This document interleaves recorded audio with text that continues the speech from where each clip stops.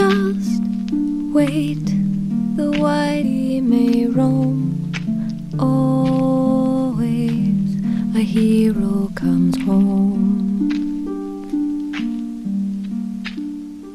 电影一开始，一阵婴儿的哭啼声让男主狂四郎不禁又想起了自己罪恶的身世，心情一时不爽的狂四郎于是来到了青楼找自己的老相好阿音寻欢。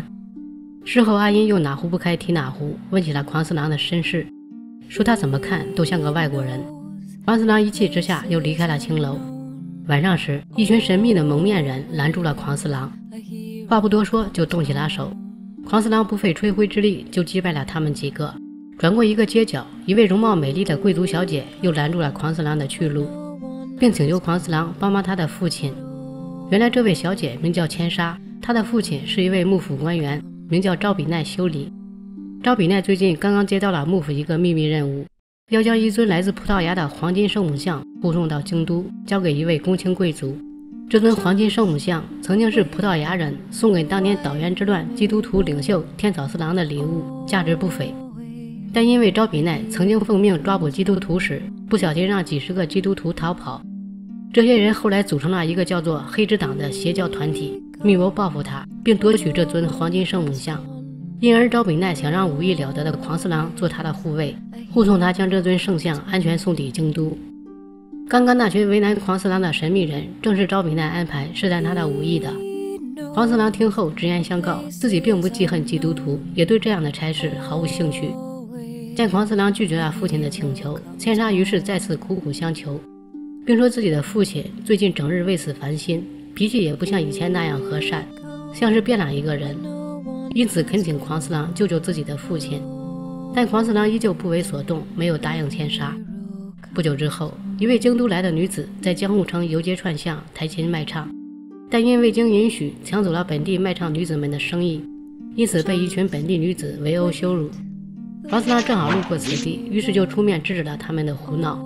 这位女子得知他就是狂四郎后，说自己正要找他，并告诉狂四郎说他在京都有一位姐姐，因病重不久人世，希望最后见一面他的弟弟狂四郎。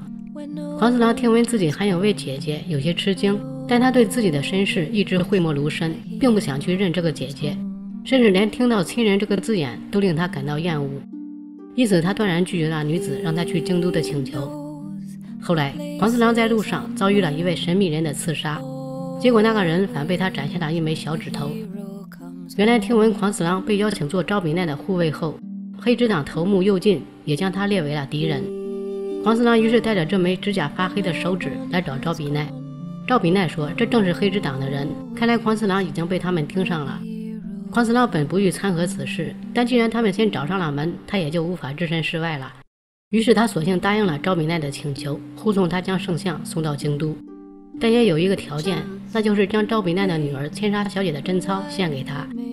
千沙一听此言，当即羞怯地离席而去，但父亲赵比奈却毫不犹豫地答应了狂四郎。千沙的母亲追了出来，请求狂四郎保护他的女儿千沙。狂四郎感到有些莫名其妙，说此时此刻千沙应该很恨他才对，因为他的父亲已经同意了自己那个有点无耻的条件。千沙的母亲似乎有话要说，但终究没有说出口。第二天一早，狂四郎就收到了千沙母亲的一封信，而此时千沙的母亲早已自尽身亡。狂四郎看完信后吃惊不已，不过这时他又突然接到了黑之党的飞剑来书，请他赴约。千沙的事于是先放一边，狂四郎先沿着指引一路来到了黑之党的老巢赴约。在这里，他终于见到了这个早已黑化、背离了基督，转而信奉所谓全能神的宗教狂热分子大魔头右近。两人于是先来了一段关于神的这个话题的大辩论。右近当然对自己的信仰狂热不已，并说他的神连佛陀、基督都没法比。黄四郎自然是站在人道的这边，对这些脑子进水的泯灭人性的邪教神棍一通抨击。但正如所有的辩论一样，结果都是你更信你的，我更信我的。最终，幽静还让狂四郎看了下那位请他去京都见姐姐的女子的下场。原因仅仅是他曾拜托狂四郎去京都，事先帮助招比奈，因此被他们黑之党虐杀。女子临死前用最后一口气告诉了狂四郎他姐姐所在的一座京都寺院的地址。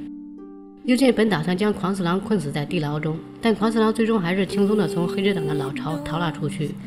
之后，他就一路护送赵敏奈与千沙到京都，途中自然是遭遇了右近设下的各种暗杀、各种陷阱。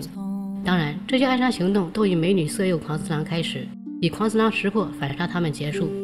这也是本系列电影的一贯套路，某种意义上说，也是电影的精华所在。在这里就不再累述。话说，狂四郎一路暗中护送千沙，也快要抵达京都。这段时间，女主千沙也逐渐对英俊潇洒的狂四郎产生了感情。但狂四郎却决定护送千沙到京都后，自己就会离开。千沙听后有些失望，羞怯地问狂四郎：“那个约定又将如何？”狂四郎表示：“那只是那么一说，自己不会强迫女人做他不乐意的事。”千沙听闻此言，有些气恼地表示：“乐不乐意，他都已经答应了，你现在竟然……”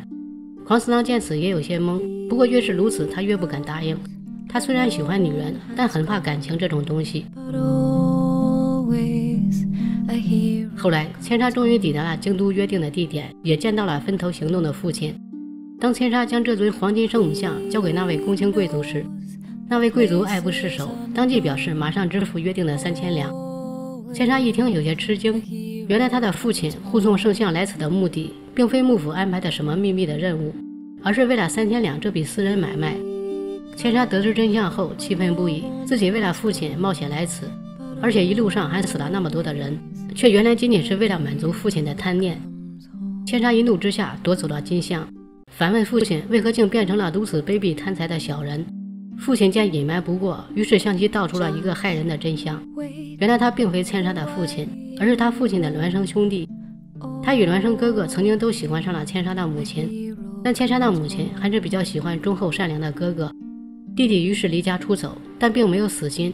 多年之后，也就是前段日子，他重返江户，秘密将自己的孪生哥哥，也就是千沙的父亲杀害。此后就一直冒充哥哥，也就是千沙的生父，至今。说完，他就一刀砍向了千沙，夺回了圣像。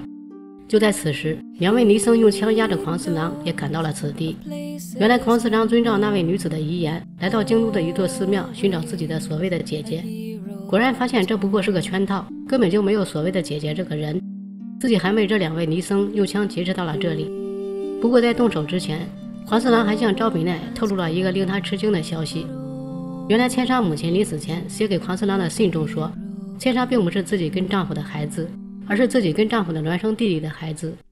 原来千沙的母亲婚前被丈夫的弟弟强暴，自此怀上了千沙。婚后，千沙母亲告知了丈夫，但两人最终还是决定当自己的亲生女儿一般抚养无辜的千沙。也就是说，眼前这个贪婪卑鄙的假昭比奈刚刚亲手杀害了自己的亲生女儿。假昭比奈听后恼羞成怒，下令杀死狂四郎，但最终自然是全被狂四郎反杀。最后，狂四郎紧紧抱起了一息尚存的千沙，满含深情地对他说：“自己会信守承诺。”千沙听后，脸上露出了幸福的笑容，也咽下了最后一口气，死在了狂四郎的怀里。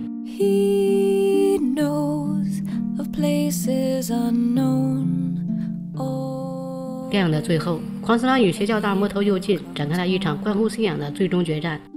狂四郎最后说道：“人生艰苦。”人们将信仰当做自己生存下去的依靠，本来无可厚非，但以自己信仰的名义去残害他人、铲除异己，这简直就是泯灭人性、天道不容。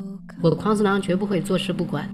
于是，狂四郎挥舞起自己的那把无响正宗刀，以一招招牌的圆月杀法，结果了这个大魔头的性命。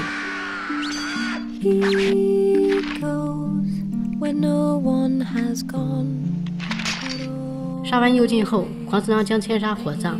并将这尊价值不菲的圣母玛利亚金像也投进了火里。如果这世界真有什么天堂，美丽善良的千沙一定会去往那里吧。之后，黄四郎又踏上了孤独的旅程，电影也到此结束。好了，本期故事就到这里，咱们下期再会。